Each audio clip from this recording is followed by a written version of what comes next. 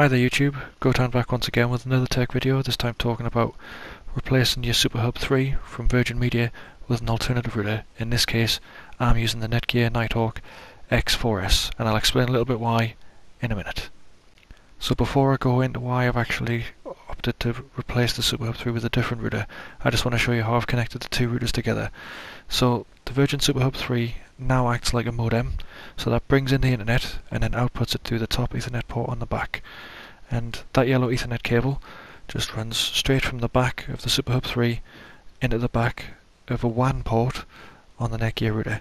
And that means that the internet is now going from the Hub 3 into the Netgear, and then the Netgear is doing all of the traffic management that outputs it to my other devices, things like mobile phones, PlayStations, and etc. And the big reason behind changing to modem mode and then putting my own router is traffic management. The SuperHub 3 is kinda terrible at it. It's on a first come first serve basis. Whatever asks for the internet gets it at that moment in time that it needs it.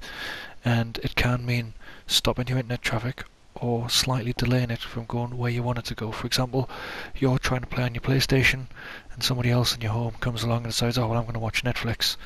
Now what will happen is your bandwidth that should be routed to your PlayStation automatically gets routed to the laptop or the telly or whatever's watching Netflix instead, and that interrupts your game, adds latency, creates ping spikes, all sorts of absolute madness.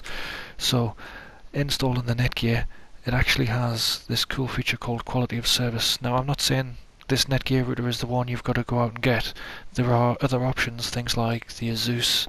Um, they have ones that add things like WTFast as well as quality of service, and it's all about knowing what you're after. The, the routers were nearly twice the price. They are supposed to be some of the best ones out there.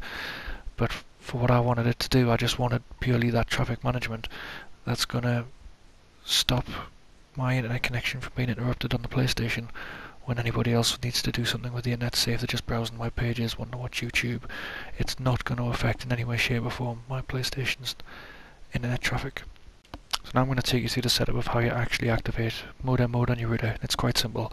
You just open up your normal web browser and go to the home page here. Um, it's 192.168.0.1 for those of you who've never done it before. And the password here, now that's actually on the bottom of your router, or if you've been here before, we'll have asked you to change it, so hopefully you remember what that is. Once you get onto the router's homepage, you're going to see something a bit like this. Now you might notice I've got less options on the left than what you're seeing, and that's just because I've already enabled modem mode. But you'll still have an option there that says, literally, mode, just click on it, tick enabled, click apply. You do get a couple of warning screens, just, you know, accept, and you're good to go. And if you do opt for the Netgear Nighthawk router like I have for this traffic management policies, you do have to actually turn them on, and you've just got to take a second or two to go to the router's homepage and do that. And it's a little different. It's 192.168.1.1 and it has its own username and password system which are in your booklet. It'll be admin and then there's a password on there that you'll have to change the first time you log on. But once you get on, just go to quality of service, tick dynamic QoS and then run a little speed test. It'll put your uh, broadband speeds in there and then what it does is it'll actually self-manage based on device that's connecting so say you're gaming away on your PlayStation, it'll go, oh, you're gaming away, and it'll calculate how much bandwidth you need to do that. So it'll say maybe give you 50 meg, and then somebody else who's connecting with their Netflix and they want 20 meg, they'll get 20 meg, and it'll still know you've got another 150 meg of bandwidth to play with for other devices, and it won't actually take away from one of those devices unless it absolutely has to.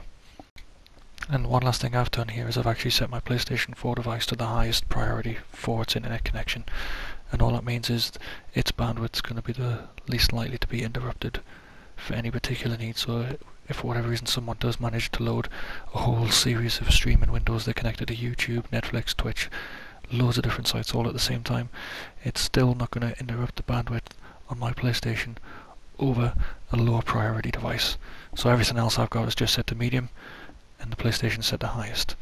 And that's done just by going into attached devices, selecting your device, and clicking the priority and it's that simple. Once you're done, hit apply and you should be good to go. There are a couple of other things I would mention. Um, you can open up ports for the PlayStation Network service. Always advisable to go ahead and do that to give you the best NAT type you can get. But you know that's not necessarily something you've got to do if you want to keep your security high. You don't have to change that. It's just the quality of service setting and this device priority that's going to give you maximum potential for your gaming traffic. And if you made it this far through the video, just like to say thanks very much for watching. If you've got any questions, feel free to ask away and I'll answer them when I can. And thanks for your time. Bye.